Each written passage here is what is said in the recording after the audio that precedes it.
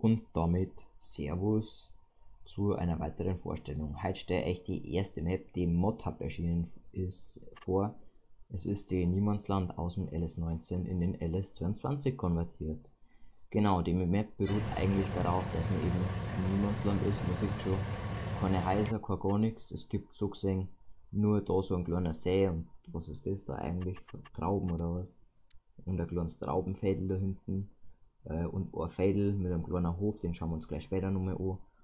Und dann gibt es da eben noch so einen kleinen Spot, ähm, den schauen wir uns jetzt einmal an. Erst einmal ist es alles in von 1 bis 60 in Parzellen aufgeteilt, auf denen halt Forst etc. ist, mit denen man eben auch Geld dann verdienen kann, indem man halt bestimmte Sachen verkauft. Dazu kommen wir aber noch. Genau, wir schauen uns jetzt erstmal da am Händler um.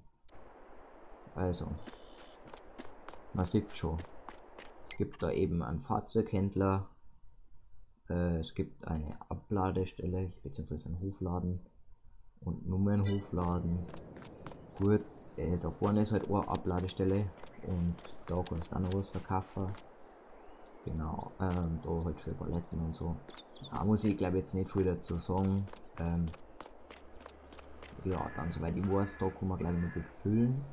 Bin mir aber jetzt gar nicht sicher. Ähm, dann gibt es noch eine Tankstelle und eben einen Viehhändler. Genau, wir schauen jetzt ins Auto. Also, der Sinn der Karte beruht darauf, dass man eigentlich mit nichts anfangen kann und dann trotzdem ziemlich schnell, ziemlich groß werden kann, äh, indem man sich eben mit Forst beschäftigt, mit der Kette so anfangen mit 0 Dollar und dann Holzzerkleinerer das direkt verkaufen. Ja, da habe ich auch ein Projekt gemacht auf Englisch, beziehungsweise 19 dazu, das zum Folge wieder rein, wenn es 22 gibt. Wir versuchen da jetzt auch XXL-Farm zu dritt oder zu zweit halt dann aufzubauen. Mal schauen. Ähm, ja, man fängt da an.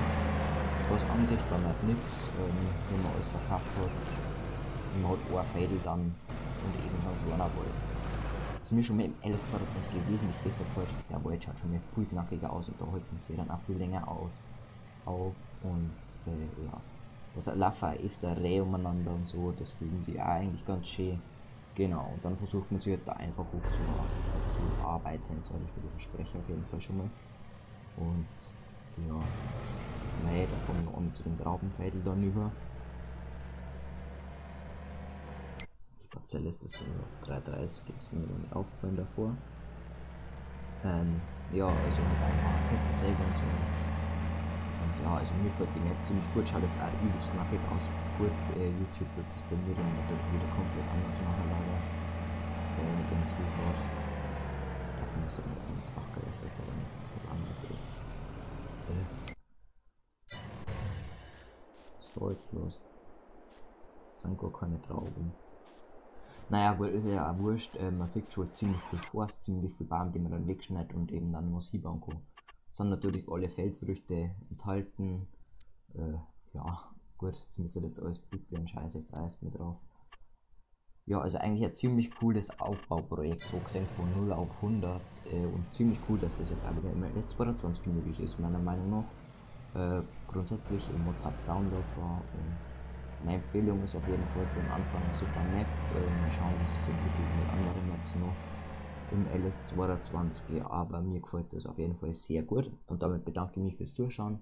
Meine abschließende Bewertung kriegt 4 von 5 Sterne die Map, weil es einfach super knackig im LS22 ausschaut.